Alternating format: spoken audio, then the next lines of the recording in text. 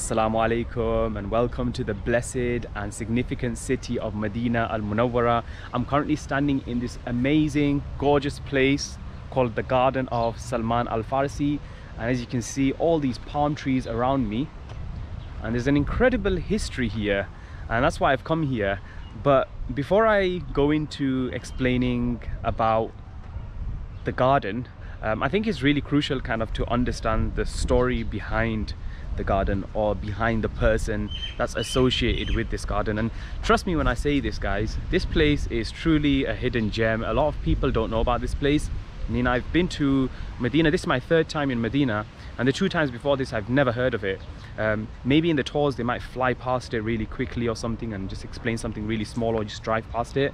Uh, but I've never actually come into this place before. So it's an incredible incredible site one with immense history and really uh, bringing to life a companion that is kind of sometimes underrated really.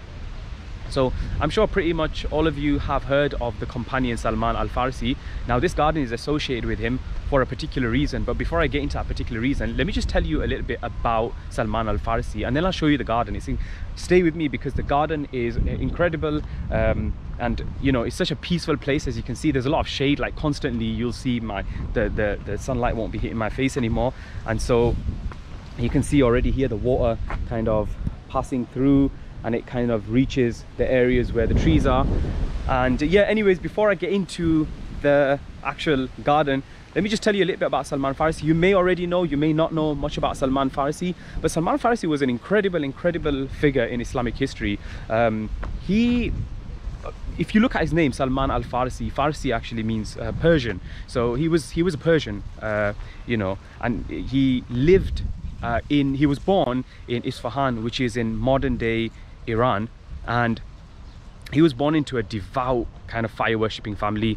His uh, father was a fire worshipper and um, so was his entire family. And for that reason he was raised like that naturally. But throughout his life especially when he was younger um, he kind of had callings for other things. He, it didn't settle with him this idea of fire worshipping. And so for that reason he did go out searching for um, other lifestyles other religions other ways of lives. Um, so he eventually came across um, Christianity and he seemed to really like it um, and that was the religion at that time. So he settled with the Christians and eventually his father did find out that he was um, you know uh, exploring other avenues uh, other religions. And so he did uh, apparently uh, he tortured him. He kind of locked him up as well. Now eventually Salman Farsi uh, made a quick getaway and he went to he was told that there's a scholar or there's a priest in the Levant area Syria Lebanon these places. And so he made his way there and he spent time with a priest over there, Christian priest, and he started learning a lot more about the religion of Christianity. And then eventually he that priest uh, was about to pass away and he told him to go to a place called Mosul in Iraq uh, and he was uh, told to go and find a priest there, a Christian priest there who was supposed to be devout, spend some time with him. So he did exactly that. He went to Mosul, Iraq, he spent some time with a priest and then eventually that priest also uh, became ill and he was unable to um, serve uh, Salman Farsi. Uh, so Salman Farsi was told by the priest before he passed away that you what you need to do is you need to go to a place uh, in Arabia, the land of Arabia. And I believe he told him to go to a place where there's uh, the place of palm trees or um, he just generally said go to Arabia. So Salman Farsi now started searching for different ways that he could get there from right up north near Mosul and the Levant area. And he found you know caravans is the best option. So he eventually went to um, ask around and you know people probably made offers and he settled with a caravan. Now this caravan obviously told uh, told Salman Farsi that well, we'll take you to Medina. I mean we'll take you because I don't think he was called Medina at that time. We'll take you to the city and um, that's fine. But what they didn't tell him was that they were actually going to make him a slave so he did he had no idea so eventually he became a slave and he ended up right here in this place in Medina Al Munawwara which like I said is like 15 minutes drive from Masjid Nabawi I think I mentioned that at the beginning. So it's not too far from Masjid Nabawi. It's like if you take a taxi, it's about 10 15 minutes. But whatever the case, at that time, it was significantly far from where the Prophet ﷺ, uh, resided. So he came here and he worked as a slave in this very place. He worked as a slave for years, and his owner was from the Banu Qurayza tribe. Um, uh, which was a, a, tribe that was settled here in Medina, I believe. And he worked for them. He worked for the owner of that tribe um, for, for, I believe, years. But he wanted to spend more time with the Prophet because he didn't get to take part in things like Battle of Badr and you know the, the, the Battle of Uhud and things like that. So he wanted to spend more time with the, with the Prophet so he had to find a way to do that. Now, just before I explain further, um, Salman Farisi actually did his homework and he was well known for researching before he did anything. And so he was told that this the prophet will have three signs. By this Mosuli the person the priest in Mosul told him that the priest will have three signs. And these the first one is that he won't eat from charity. The second one is he'll take gifts. And the third one is that he'll have a mark uh, the seal of prophethood on his back. Now salman farisi tried giving him charity. It didn't work. But when he came with a gift it did work. The prophet uh, ate some and he gave it to his companions. With the charity he just gave it to his companions. But with and lastly with the seal of the prophethood um, salman Farsi was actually there's a place not far from here. When the prophet first came to medina from mecca he when he kind of he developed and built uh, Masjid al-Quba. And near Masjid al-Quba there's a there's actually a like kind of a well there and there's a spot there uh, where the Prophet ﷺ resided for a little while before the people of Medina, Aus and, uh, Aus and Khazraj tribe, they came and they, uh, they picked him up. And now the, the Prophet ﷺ was residing there and uh, Salman Farisi picked up that, oh, he's residing there, so let me go and visit him before he makes his way to Medina so I can find that seal of prophethood. So he was standing behind the Prophet Wasallam, trying to kind of have a look to see because the Prophet ﷺ was wearing kind of a light garment at that time and you could probably make out if he just have the seal of prophethood there. And then eventually um, the Prophet ﷺ realized and he called Salman Farisi and he showed it to him. So that kind of solidified and confirmed things for Salman Farisi. But anyways, coming back to the story, he worked here, he was working here for the Jewish slave, the Jewish master, sorry, from the Banu Banu Qurayza tribe. And eventually uh, Salman Farsi wanted to buy his freedom because he was sick and tired of it. And so what he did he told he went to the Prophet ﷺ and he told him look I want to buy my freedom. Can you help me out? So the Prophet ﷺ said okay that's fine. I will I will of course I will help you out. Now the master the Jewish master had laid down an agreement and he said a condition for freedom. He said you have to plant 300 palm trees. Now that's a stupid amount of palm trees to plant. It's going to take years and years before it becomes free. And he has to also give 40 ounces of gold. It's, it's just like unrealistic goals he's setting because he knows that it's not going to work. So when, when Salman Farsi went to the Prophet and he told him that, the Prophet said, go and dig the holes and I will come myself and plant the palm trees. And that's exactly what the Prophet did. And as you can see here, all these trees here, initially the palm trees that were here obviously palm trees don't live for that long the palm trees that were here they were uh, planted by the prophet ﷺ himself and so the prophet ﷺ planted them himself and he had a, like a golden egg sort of thing and he it was the condition was that he has to also give 40 ounces of gold so the prophet ﷺ gave him this and then salman farsi was able to um, you know buy his buy his way out buy his freedom and so the prophet ﷺ stepped foot right in this place. And that's why this place is significant because the prophet ﷺ came himself and he planted the palm trees that you see well not the ones that you see around here but he planted palm trees here. And it's an incredible place because salman farsi just imagine he was you know he was staying here he was working here he walked here and you know he took care of this place. And companions came and they would plant they would dig holes and the prophet ﷺ would come himself and he would plant the trees and so obviously these trees here that you can see around me they are all trees from they are like considered the grandchildren of the trees that are planted by the prophet sallallahu but the kind of the system here is incredible. I mean you've got some parts which are dry obviously and i think it's the season at the moment for the dates which is in which is amazing. And we'll go and have a look to see if we can uh, find the place where they sell them um, so the water passes around it feeds the trees and yeah it's just an incredible sight. I mean it's so peaceful here. Um, it's like um, constantly you'll find shade. Um, and one of the things i found is that as well is that as you can see around there's there's nobody here hardly. Uh, it's an incredibly quiet quiet place. It's a lot bigger than this. It carries on all the way over there. And I mean some some visitors do come that come for Umrah and for Hajj but very very less people. And so I feel like it's a, it's one of the kind of biggest hidden gems here amongst other sites in Medina Al Munawwara and I really think it deserves more attention because this place is incredible. It has so much history. So as you can see um, all this water around it incredible kind of irrigation system here. And then you have like I'm not sure how many trees there are here right now but back then obviously there were 300 and incredibly it was a miracle. They grew really quick. And um, obviously Salman Farsi then he took part in the the battle of uh, Trench the Khandaq battle which is incredible as well because um, you know Salman Farsi was known as the creative Sahaba because you know when it came time for the, there were several battles in Islam and one of them was called the Battle of Khandaq which is the Battle of Trench. And Salman Farsi was like the the top leader in that. He basically suggested to ward off the enemies or to get rid of the enemies what we do is Medina has certain areas which are lower and you can build a trench around it.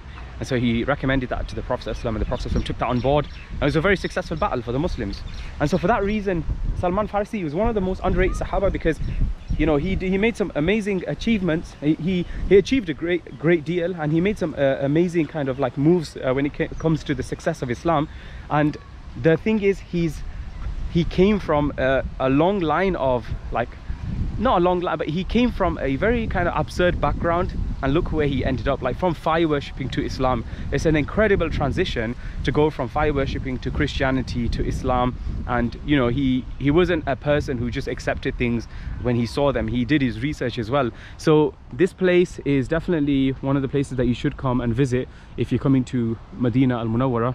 Like i said you can you can take a taxi for you can take a taxi for around maybe I think 20 riyals and they'll drop you off right here. If you tell them I want to go to the Mazra'a say Mazra'a Salman Al Farsi they should be able to uh, help you out. If you have your own car you can come here. I'm not sure if they pay for park if they charge for parking here. Um, they probably do I'm not sure. Uh, but yeah um, you'll still see some farmers here um, the garden there's a school right here called Madrasa Hussein ibn Ali al-Ibtidaiyah so just in case you want to tell the driver where you should come.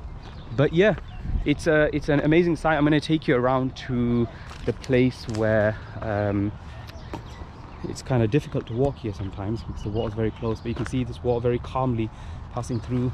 And if you've never seen a palm tree close up here it is.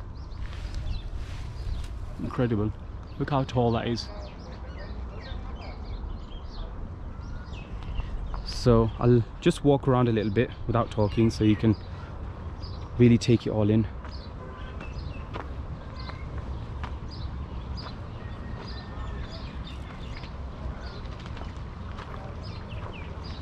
And you can see here I'll just quickly tell you they've got these things here so the water doesn't pass around here too much. So old methods. Don't die hard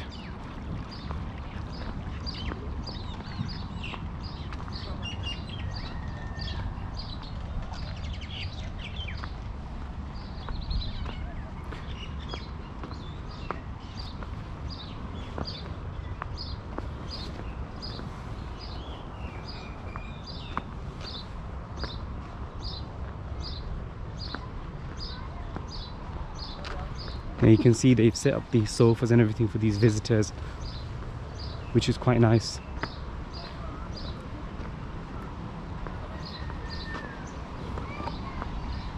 And there's another I think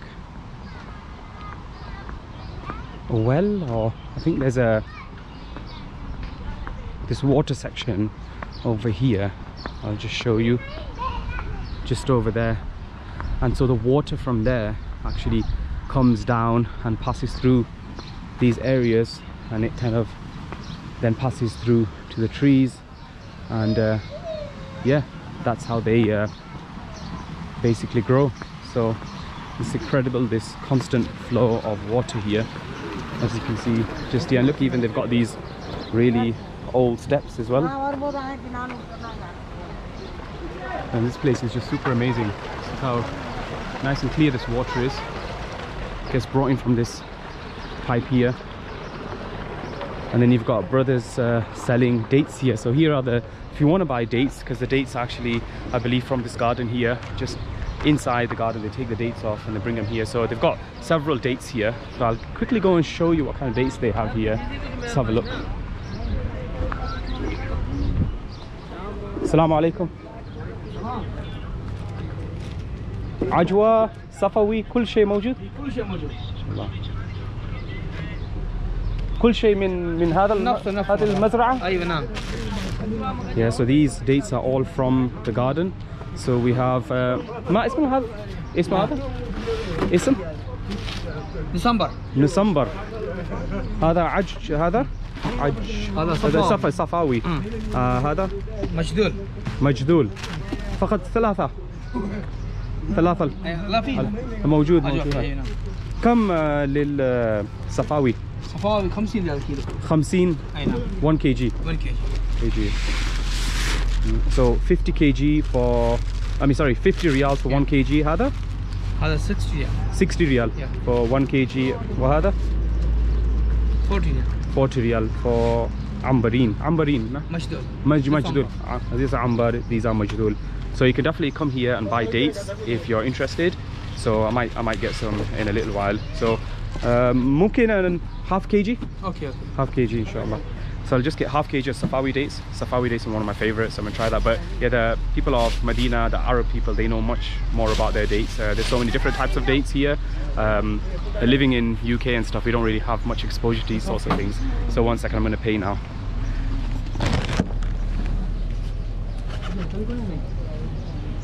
Pero.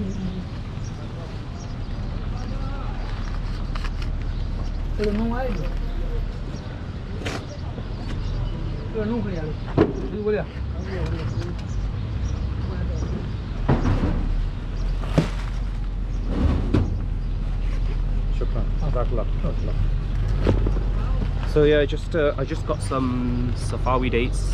So they're here, half a kg. Uh, can't wait to try these bad boys. So yeah, Jazakallah khair. Assalamu alaikum. So yeah, what do you guys think of the garden of Salman Al Farsi? Incredible place. You can come out with some incredible dates and definitely an underrated site. So 100% recommend that if you do come to Medina Al Munawwara, you check this place out, come and explore. And really, it's quite it's quite nice to yeah. Apart from the high-rise buildings and uh, you know the kind of uh, um, the modern side of uh, Medina that we see, we don't really get to, we don't really have this kind of thing of exploring beyond uh, Masjid al-Nabawi. Masjid al-Nabawi, don't get me wrong, you have to, I mean, if there's anything to do when you come to Medina is spend time in Masjid Nabawi. But if you're interested in the history of the city, if you're interested in exploring and learning a bit more about the Islamic history and heritage of Medina, definitely expand and kind of travel to these places. And that's the whole point of these um, hidden gem videos is to show you these places that they exist and they are ready for visitors. And you can see there's hardly any visitors here. People are very friendly here. This place, ha this place has. Um, a lot to see a lot to walk around and it's not congested as well. So definitely i recommend coming here if you're in uh, medina al munawwara. So i'm gonna call it quits on this video for now and uh, hope you guys have enjoyed this tour. Hope you guys found it beneficial. Um, i'm not gonna ask you to uh, like subscribe or or comment because i know that you're already to do it so please be sure to like comment and subscribe as well for more content like this. Um, it's been incredible coming here. I've really enjoyed it.